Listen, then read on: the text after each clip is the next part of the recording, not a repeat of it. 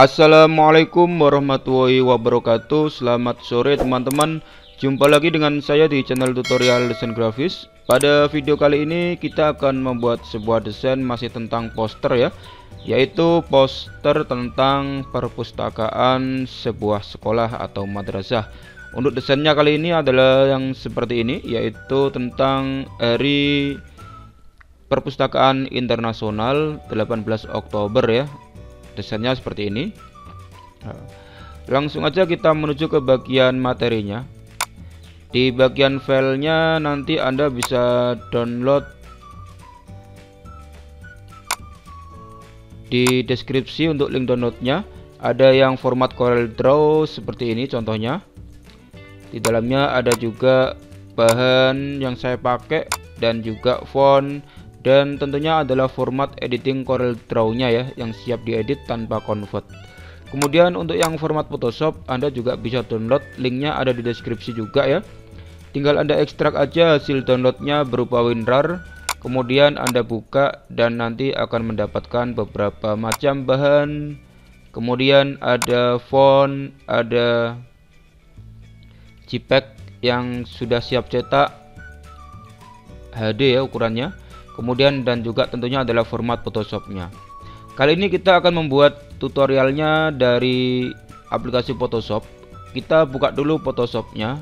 Di sini saya masih pakai yang CS3 ya yang ringan. Kemudian kita coba buka yang format editing Photoshopnya file yang anda download. Ini adalah hasil downloadan yang sudah saya berikan dan tinggal anda download aja di sini Anda kalau lihat di bagian layar ada beberapa macam folder layer, teks, kemudian logo, kemudian ada juga bagian background ya. Semuanya bisa Anda peroleh, Anda manfaatkan untuk kepentingan usaha percetakan yang Anda miliki ya, seperti itu. Kemudian sekarang kita coba buat dari awal untuk yang masih pemula ya. Kita coba belajar pelan-pelan. Ini kita kecilkan dulu. Kemudian langkah pertama setelah membuka Photoshop tadi, Anda klik File, New, kita berikan nama filenya, latihan PPS 5, misalkan seperti itu. Lebarnya Anda masukkan angka 100 dan tingginya angka 60 cm. Resolusinya 72 aja dan mode colornya pakai yang CMYK karena akan dicetak ya. Klik OK. Jika sudah seperti ini, kita kecilkan dulu biar sama. Nah, seperti ini. Kemudian kita kecilkan view-nya, ALT dan scroll ke bawah di mouse. Langkah pertama kita masukkan bagian bahan untuk frame-nya dulu ya. Frame-nya kita masukkan dulu ke Photoshop. Kemudian setelah masuk kita lempar ke dokumen baru kayak gini. Yang ini kita tutup yang ini kemudian kita klik kontrol pilih layar yang paling bawah pilih center secara horizontal dan secara vertikal kayak gini. Nah, berikutnya kita masukkan folder yang ini. Kita masukkan backgroundnya. Background yang asli yang saya dapatkan adalah ini teman-teman ya yaitu dari situsnya badan bahasa.kemendikbud.co.id Kemudian saya dapat inspirasi dari gambar ini akhirnya jadi background seperti ini. Nah, dari ini kemudian saya jadikan seperti ini. Nah, kita coba buat yang asli ya, yang ini. Kita masukkan dulu ke Photoshop. Lalu kita lempar ke dalam dokumen kerja dan yang ini kita tutup. Kemudian kita taruh di bawahnya frame nah, kontrol background rata atas. Kembali ke layar background sembunyikan show transformnya. Kita geser ke samping kiri. Nah, seperti ini. Nah, berikutnya kita tinggal bersihkan area-area yang mesti kita tutupi ya. Nah, sekarang kita besarkan dulu. Kita besarkan pakai F. Uh, pertama kita bersihkan area ini yang atas ini. Kita buat kotak di sini. Kemudian kita gambar dari sini. Arahkan pas di sampingnya biru. Nah, seperti ini. Kemudian double klik di layar. Kita ganti warnanya color overlay. Kita pilih warna biru yang berdekatan seperti ini. Klik OK OK. Kita paskan pakai anak panah nah, jika sudah pas maka akan langsung tersamarkan ya kan? Begitu juga untuk yang bawah. Yang bawah Anda tinggal tutup lagi kayak tadi pakai ini lagi. Buat aja dari luar kayak gini dan arahkan ke sini.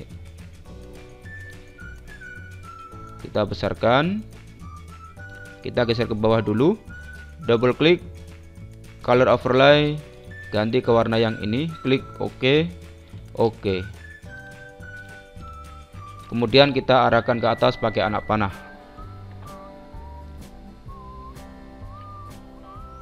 Nah, seperti ini. Jika sudah maka bagian bawah sudah tertutup yang atas sudah tertutup. Tinggal kita mengolah yang tengah ini ya. Yang tengah ini sekarang kita olah. Nah, kita butuh kotak-kotak kayak gini untuk menutupi area background yang tengah ini. Caranya bagaimana 1 2 3 4 kita buat kotak seperti ini teman-teman. Ya. Kita buat kotak kayak tadi sama nah, sama.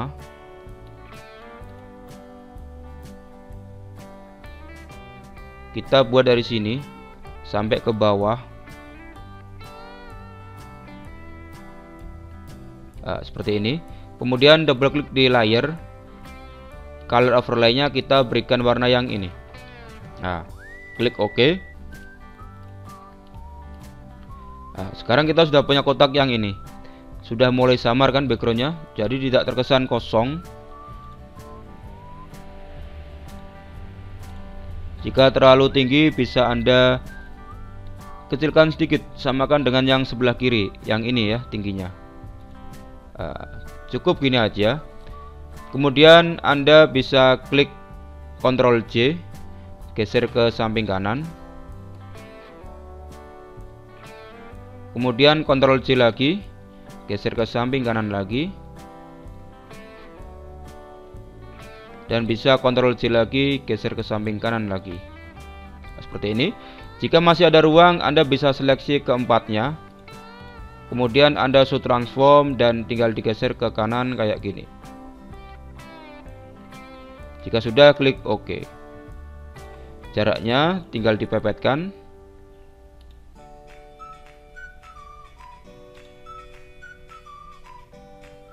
Nah, seperti ini ya.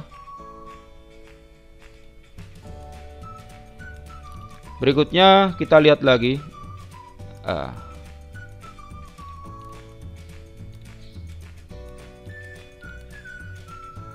bagian tengah ini saya berikan sedikit samar ya.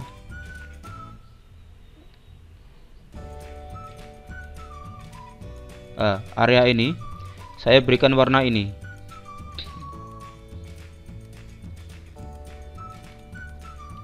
Kita besarkan lagi kemudian kita lebarkan lagi sedikit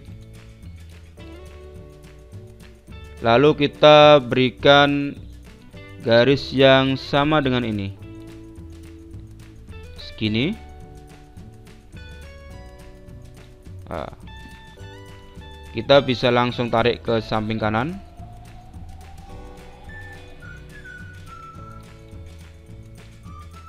Klik enter. Kemudian double klik di layarnya. Color overlay-nya kita ganti ke warna yang ini. Ya, klik OK. Naikkan ke paling atas nah seperti ini ya. Sekarang kita masukkan ke dalam satu-satu. Pertama kita taruh di layar yang ini. Kita beri nama dulu ya. Ini taruh di bawah yang ini di atasnya yang paling satu ini. Kita masukkan klik ALT kemudian masukkan ke layar yang bawahnya. Nah, kayak gini.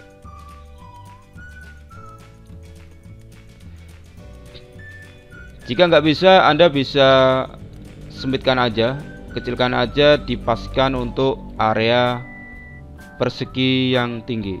Nah, seperti ini aja mudah ya. Nah. kemudian anda kontrol J. Taruh di atasnya layar yang berikutnya. Kemudian geser ke kanan. Kontrol J lagi. Geser ke kanan lagi. Kontrol J lagi geser ke paling atas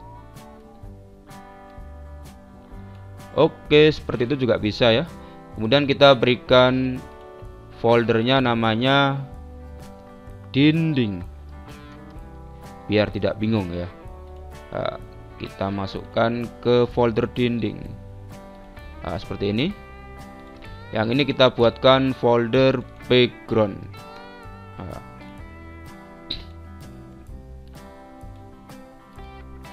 nah seperti ini sekarang tinggal kita buat background yang atas ini ya yang atas ini. Untuk area teksnya. Caranya bagaimana? Caranya. Pertama kita gambar pakai pen tool. Yang ini ya teman-teman. Kemudian anda tinggal garis ke sini pakai pad ya jangan lupa pakai shift yang ini. Anda gariskan dari sini dikira-kira aja kita sampai sini misalkan ya. Nah, kita butuh sampai sini. Nah, kemudian klik ALT potong di sini. Lalu arahkan ke bagian bawah sampai sini.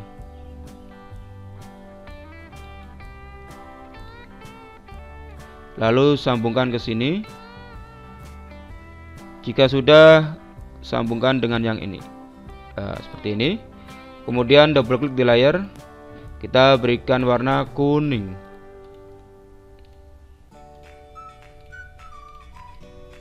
Nah, seperti ini. Sekarang backgroundnya sudah menyatu. Ya kan? Jika ada yang kurang pas Anda tinggal klik kontrol dan Anda paskan lagi di sini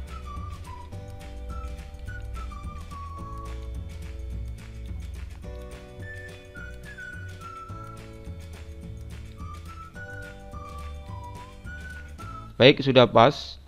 Sekarang tinggal kita tambahi yang orange ya, yang warna orange yang ini garis lengkungnya. Kita bisa gambar lagi dari sini pakai pen juga ya. Yang ini kita sambungkan ke area ini. Nah, seperti ini caranya.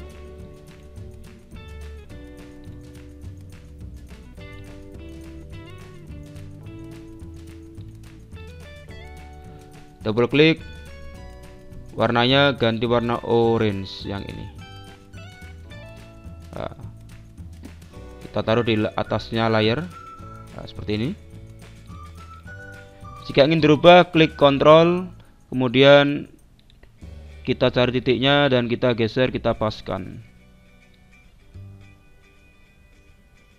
Klik enter. Nah, demikian ya caranya yang bawah tinggal dilanjutkan aja caranya sama ya. Gambar lagi.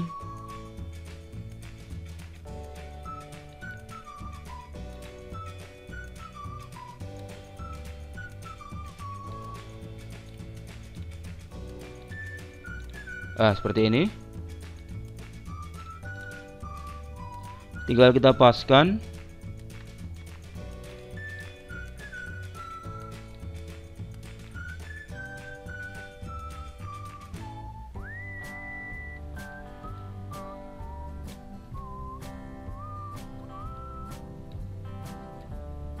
ah sudah pas ya teman-teman ya.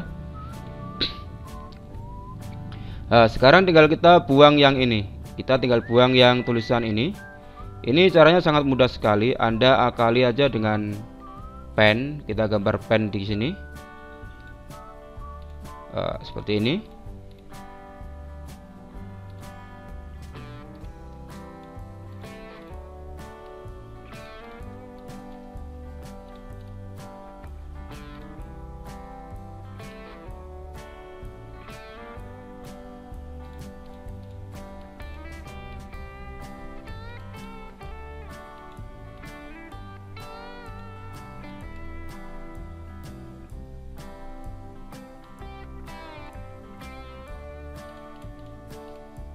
Kemudian Anda double klik di layar dan tinggal memberikan warna kuning.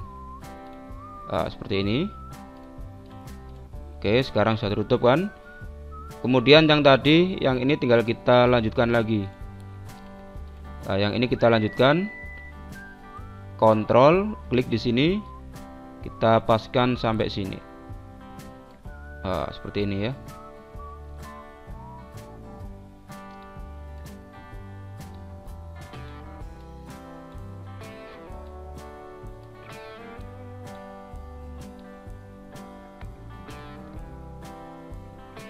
nah, seperti ini. Sekarang untuk background teksnya sudah ready. Jika ada yang kurang pas tinggal diedit lagi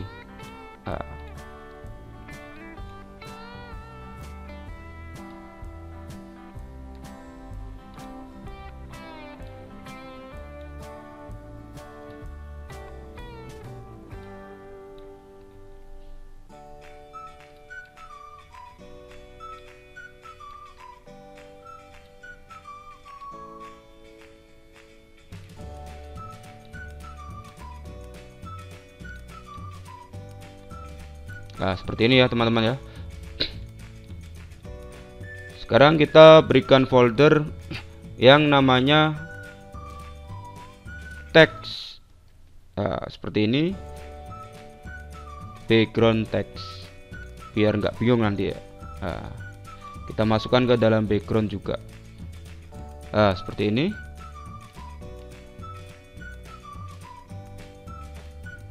Nah Berikutnya kita tinggal masukkan beberapa elemen. Yang pertama kita masukkan logonya dulu ya. Kita masukkan logonya. Folder. Kita berikan nama logo. Anda bisa ambil logonya di sini. Ukurannya 3 MB ya. Ini lumayan besar, lumayan HD. Kita tarik ke Photoshop, kita lempar.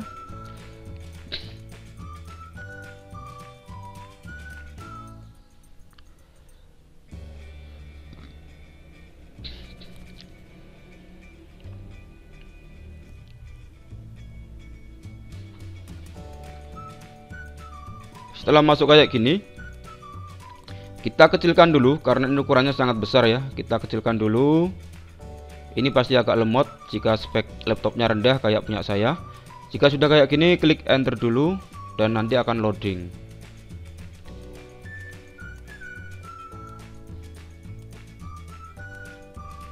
Setelah itu kita tinggal geser lempar ke dokumen kerja kita. Loading ya kita tunggu dulu.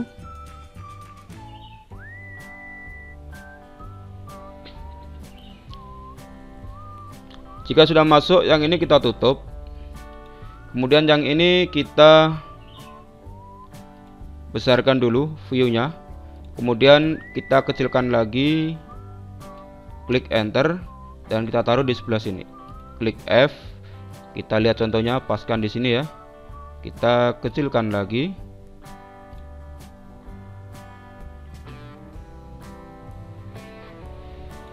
klik enter kemudian kita naikkan ke atas sedikit untuk mengisi area yang kosong di sebelah sini double klik di layar kemudian drop shadow kita berikan drop shadow nah.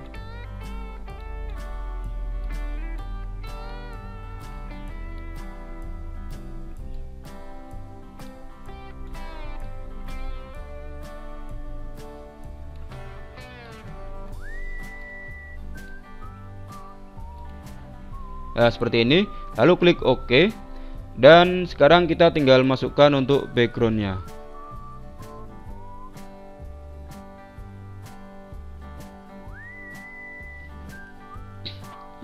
Kita masukkan yang teksnya ini ya. Kita ambil teksnya. Yang 18 Oktober. Anda bisa klik teks di sini. Kita jangan lupa kita buat folder teks lagi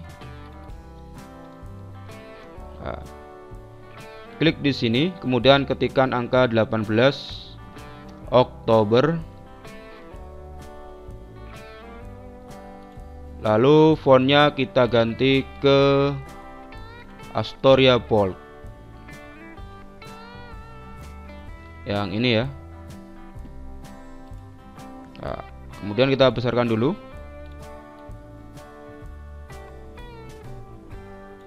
Klik enter Paragrafnya kita dekatkan dulu untuk karakter antar hurufnya. Kita buat 0 aja.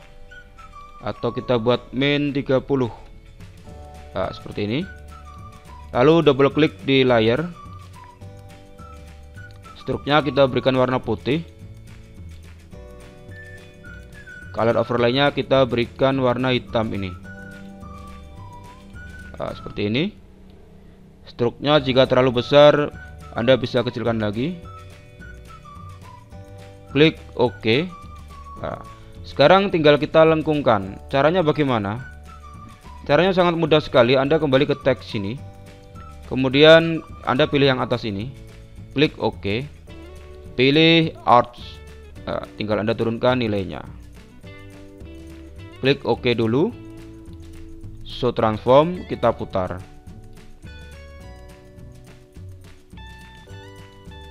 klik enter. Kita kecilkan sedikit.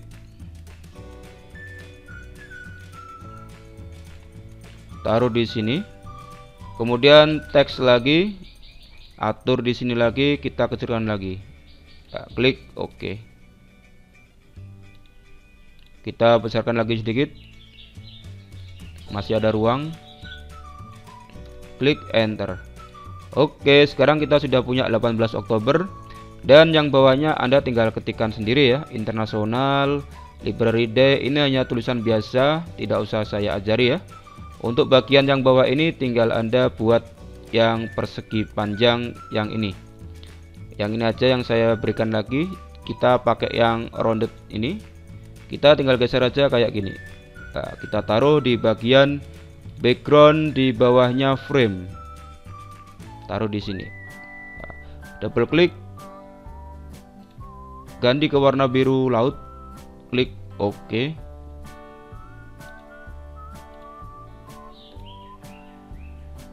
Kita naikkan ke atas.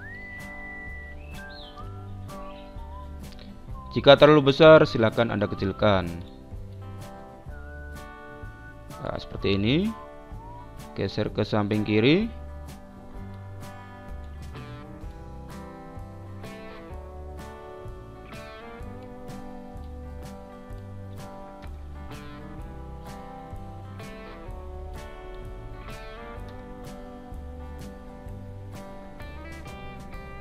seperti ini ya. Kemudian tinggal Anda lanjutkan ngetik yang internasional. Coba kita ambil langsung aja ya. Yang internasional kita tarik. Nah, nanti anda tinggal ketik aja. Caranya sama dengan cara membuat yang 18 Oktober tadi ya. Kita naikkan di sini. 18 nya kita naikkan lagi. Nah, seperti ini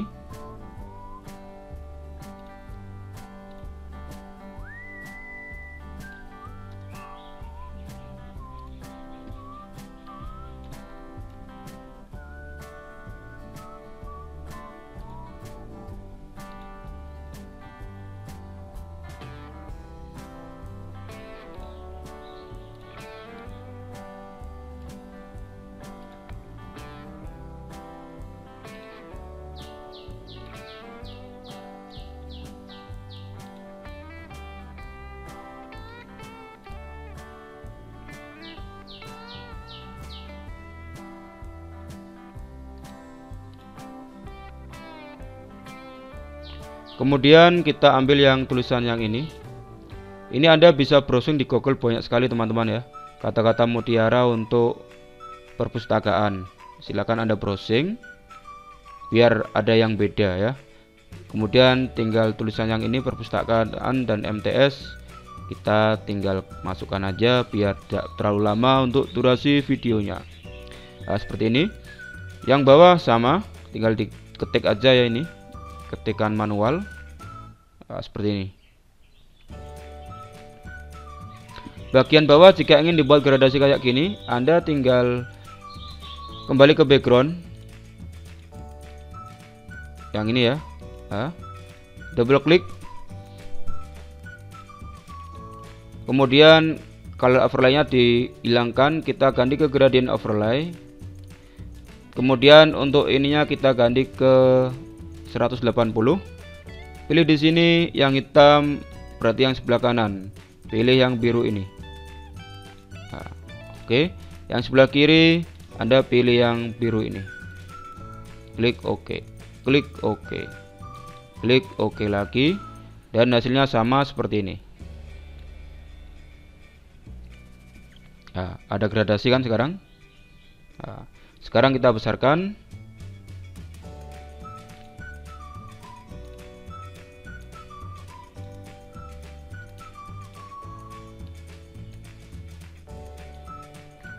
Nah, sekarang sudah jadi. Tinggal kita paskan sempurnakan layout yang kurang pas. Nah, jadi demikian teman-teman ya tutorial kali ini. Nah, sekarang kita tinggal simpan. Ini yang kita buat tadi ya. Yang ini yang kita contohnya kita minimize yang ini kita simpan. Kita besarkan. Dan kita simpan file save as jika nggak muncul pilih di sini lagi. Kemudian anda ulangi lagi. File save as. Mau ditaruh di mana terserah kalian. Di desktop aja. Photoshopnya disimpan dulu. Oke. Kemudian untuk JPEG nya cek dulu di modenya. Jika ingin dicetak biarkan CMYK jika hanya untuk kepentingan medsos share di marketplace Anda pilih yang RGB color. Don't flatten agar layarnya tidak menyatu. Nah, klik file save as taruh di mana desktop kemudian di JPEG pilih JPEG ya. Klik shift dan tinggal kita pilih kualitas gambarnya. Medium maksimum low silakan. Saya pakai yang medium aja. Klik OK dan kita bisa cek hasilnya seperti ini. Nah, jadi demikian teman-teman ya tutorial kali ini. Cara membuat poster perpustakaan dengan desain yang minimalis. Ini sama dengan yang ada pada tampilan di thumbnail video yang saya perlihatkan di awal tadi, yaitu yang seperti ini. Kita akan ketemu lagi pada next video berikutnya. Wassalamualaikum warahmatullahi wabarakatuh.